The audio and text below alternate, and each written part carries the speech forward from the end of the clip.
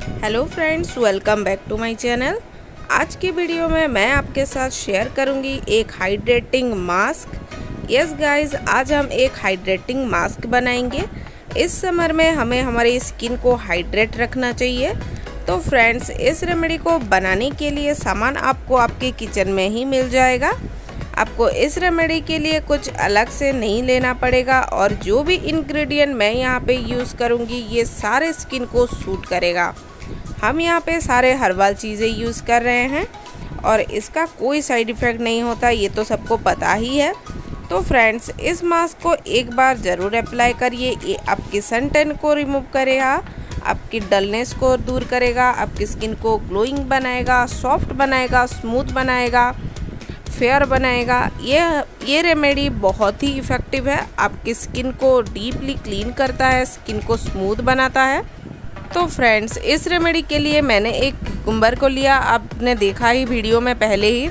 और उसको मैंने कद्दूकश कर लिया। आप देख सकते हैं, कद्दूकश करके मैं टोटल ही एक बाउल में ऐड कर लिया है। आपको बुद्धा फेंकना नहीं है और ओनली जूस नहीं लेना है। आपको टोटल क्यूकुम्बर जो आपने कद्दूकस किया होगा, उसको ही लेना है। आप देख सकते हैं, मैं यहाँ पे दिखा रही हूँ। और नेक्स्ट इंग्रेडिएंट मैंने यहाँ पे लिया हुआ है, टमाटो का जूस टमाटो को भी उसी तरह आपको पीस लेना है। सिर्फ़ जूस नहीं, उसकी पल्प भी हमें चाहिए इस रेमेडी के लिए। और तीसरा जो हमारा इंग्रेडिएंट है, वो है बेसन। बेसन यानी कि ग्राम फ्लोर और इन तीनों की मदद से हम बनाएँगे हमारा जो summer special hydrating mask so friends video start करने से पहले अगर आप मेरी चैनल पे पहली बार आए हैं तो please subscribe to my channel और पास में जो बेल आइकन है, उसे भी प्रेस कर दीजिए।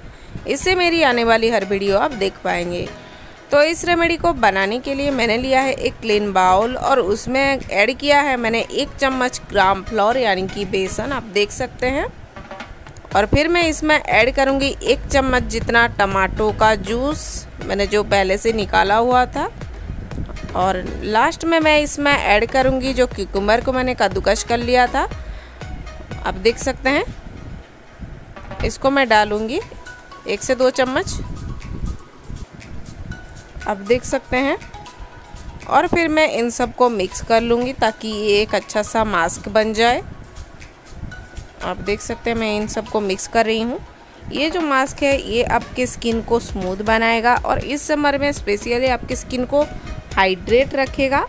यहाँ पे जो इंग्रेडिएंट हमने लिया है, हुआ है, ये आपके स्किन के कम्प्लेक्शन को भी इम्प्रूव करने में काफ़ी इफ़ेक्टिव है।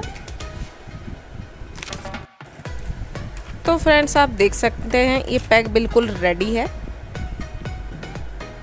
अब मैं इसको करूँगी अप्लाई और ये पैक इस रनी कंसिस्टेंसी में ही बनेगा। आप देख सकते हैं, ये निकल रहा है।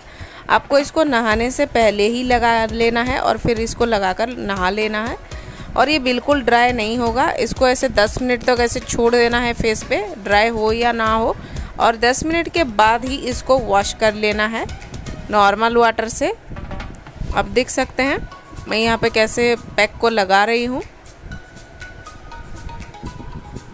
ये पैक आपके स्किन के सनटेन को रिमूव करेगा, आपके पिंपल को आने से रोकेगा, क्योंकि ये आपकी स्किन को बहुत ही ज़्यादा हाइड्रेट रखेगा।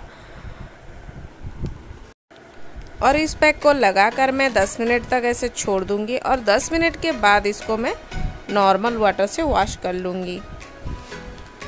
सो फ्रेंड्स इस रेमेडी को आप हफ़्ते में दो से तीन बार यूज़ कर सकते हैं। इसका कोई साइड इफ़ेक्ट नहीं है, बहुत ही अच्छा रिज़ल्ट देता है। आप देख सकते हैं मेरा हैंड जो ग्लो कर रहा है। आई होप गाइस वीडियो आप सबको पसंद आया हो और आपके लिए हेल्पफुल हो तो लाइक करिए शेयर करिए एंड सब्सक्राइब करना बिल्कुल मत भूलिए। मैं फिर मिलती हूँ आपसे एक नए वीडियो के साथ। तब तक के लिए बाय